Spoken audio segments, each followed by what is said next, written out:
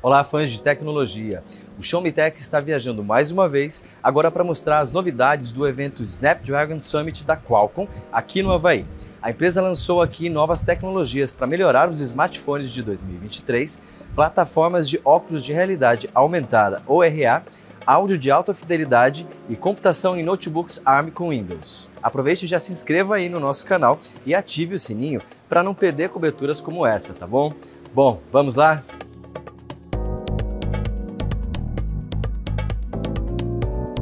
Você já deve ter visto o nome Snapdragon na ficha técnica de vários smartphones, certo? A Qualcomm, fundada em 1985, produz chipsets de celulares reconhecidos em todo o mundo e que são referência no mercado. Mas não para por aí, já que a marca está sempre em expansão, levando inovação para diversas áreas, incluindo ações especiais para a implantação do 5G no mundo e a chegada do metaverso. A convite da empresa, estamos aqui na ilha de Maui, no Havaí. Esse paraíso natural foi o local escolhido para a Qualcomm anunciar a nova linha de processadores, que vai equipar os Androids topo de linha a partir de 2023, além de várias outras novidades que prometem elevar o nível da tecnologia integrada na nossa rotina. Os processadores Snapdragon 8 estão presentes nos smartphones e tablets Android topo de linha, com renovação anual. Com o novo Snapdragon 8 geração 2, a empresa promete entregar um potencial ainda maior para tarefas de inteligência artificial e performance aprimorada, ao mesmo tempo que se economiza mais energia em cada tarefa. Entre as grandes novidades estão a possibilidade de ver em 2023 smartphones com câmeras de 200 megapixels que gravam em 8K HDR, como já se espera do futuro Galaxy S23 Ultra da Samsung, que será lançado no começo do ano. O novo chip também suporta os padrões Wi-Fi 7 e Bluetooth 5.3 de baixo consumo. E ainda há recursos para aumentar a segurança do smartphone, como o desbloqueio da tela que verifica por sinais de vida no rosto, evitando assim falsificações. A Qualcomm está trabalhando em conjunto com a Samsung e a Sony conhecidas fabricantes das câmeras que estão nos smartphones de diversas marcas, para personalizar o Snapdragon para os seus sensores de imagem e permitir que eles cheguem até 200 megapixels de resolução. Além disso, a empresa está divulgando o que chama de ISP cognitivo, uma tecnologia que consegue identificar em tempo real o que está sendo fotografado e aplicar as melhorias baseadas em inteligência artificial. Em outras palavras, antes era comum tirar uma foto e em seguida notar que o celular estava processando a imagem para melhorá-la. Com essa novidade, a mudança será vista mesmo antes de você dar o clique. Em um exemplo mostrado pela Qualcomm, a câmera detecta que o usuário está usando óculos e remove o reflexo nas lentes em tempo real. Essa fotografia computacional também funciona para vídeos, que agora podem ser gravados em até 8K com padrão HDR. É uma novidade bem interessante, mas ainda pouca gente tem uma TV 8K para aproveitar essa resolução, né? O processador também suportará um novo codec AV1 que permitirá a reprodução de vídeos em 8K a 60 quadros por segundo em celulares compatíveis. Mais do que aprimorar a fotografia, a nova tecnologia também usa as câmeras para fortalecer a segurança dos dispositivos. Isso porque o desbloqueio de tela com reconhecimento facial agora analisa pequenos pontos para detectar mudanças no movimento e respiração, por exemplo, para confirmar se um rosto é real e não uma foto. Outra ferramenta chamada de câmera sempre ativa permitirá que QR Codes sejam reconhecidos pelo dispositivo mesmo antes do usuário desbloquear o celular. Ótimo para mostrar rapidamente menus em restaurantes, né? Um dos motivos para escolher um smartphone com tecnologia Snapdragon é o seu ótimo desempenho em jogos mobile. Entre as novidades da plataforma Snapdragon Elite Gaming, temos o Ray Tracing em tempo real para jogos compatíveis, performance 25% maior graças à GPU Adreno melhorada. Entre as novidades da plataforma Snapdragon Elite Gaming, temos o Ray Tracing em tempo real para jogos compatíveis, performance 25% maior graças à GPU Adreno melhorada e 40% maior eficiência de energia nos aparelhos. A Qualcomm também promete que o novo processador vai oferecer as primeiras experiências em jogos com gráficos fotorrealistas, incluindo o suporte às ferramentas da Unreal Engine 5 para mobile. Outra inovação importante inclui inteligência artificial. Durante o evento, a empresa mostrou um demo com jogos com espaçonaves, onde os inimigos do jogador usam inteligência artificial para melhorar suas táticas de ataque. Em outras palavras, serão possíveis jogos que aprendem com o usuário para se tornarem ainda mais desafiadores. Não dá para subestimar a inteligência artificial mesmo, né? O Snapdragon 8 geração 2 integra IA até mesmo em suas conexões, tornando o uso de rede 5G mais eficiente.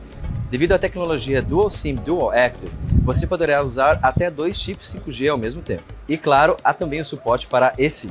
Esse também será o primeiro processador móvel a suportar o padrão de internet Wi-Fi 7, podendo atingir velocidades de até 5,8 GB por segundo. Além disso, ele tem conectividade Dual Bluetooth 5.3 de baixa energia, que dobra a distância do sinal e consome menos energia. Falando em qualidade de áudio, também foram apresentadas melhorias ao que a Qualcomm chama de Snapdragon Sound, plataforma que promete melhorar a performance sonora tanto de smartphones e tablets, quanto dos próprios fones de ouvido sem fios ou caixas de som conectados a eles. Entre as melhorias estão o suporte para o padrão de áudio sem perda de qualidade ou lossless e o melhor uso do som espacial, com inteligência artificial e sensores de movimento que melhoram a sensação de que o som está vindo de diferentes direções. Há também uma melhoria de latência da conexão sem fios, que deve agradar muito aos gamers, passando de 89 milissegundos da geração anterior do Snapdragon Sound para apenas 48 milissegundos. Ou seja, vai dar para ouvir aquele tiro do seu oponente muito mais rápido. A plataforma Snapdragon AR2 Gen 1, apresentada aqui no evento, promete revolucionar o mercado dos óculos de realidade aumentada, ou RA, e conta com diversos parceiros como LG e Lenovo. O novo processador entrega 250% mais eficiência em performance da inteligência artificial, enquanto ocupa uma área 40% menor do que nos óculos anteriores, gastando 50% menos energia. O objetivo é oferecer uma experiência mais rica e confortável, prolongando o tempo de uso e alcançando as demandas dos consumidores das empresas que já integram a tecnologia no desenvolvimento de projetos 3D, por exemplo. Um dos maiores desafios para os fabricantes de óculos inteligentes é o equilíbrio entre o design e o processamento. Afinal, o óculos ideal precisa ser agradável, bonito e fazer o trabalho que promete, não é mesmo? Por essa razão, o Snapdragon AR2 Gen 1 distribui dinamicamente diversos recursos em sua estrutura. A arquitetura multichip é dividida em três, sendo um processador em uma das abas, um coprocessador na área frontal dos óculos e uma plataforma de conectividade na segunda aba. Isso não só diminui o tamanho dos óculos, como facilita também a dissipação de calor. O novo processador de realidade aumentada é otimizado para suportar até nove câmeras simultâneas para compreensão do próprio usuário sobre o ambiente ao redor com uma baixa latência de movimento. Um mecanismo de aceleração de hardware dedicado melhora o rastreamento e a localização do movimento do usuário também. E o coprocessador de realidade aumentada captura os dados de uma câmera que acompanha os movimentos oculares para fazer a renderização da imagem, deixando as áreas do foco do usuário com maior resolução. A plataforma de conectividade utiliza o modem Qualcomm Fast Connect 7800, aquele mesmo que suporta as conexões Wi-Fi 7.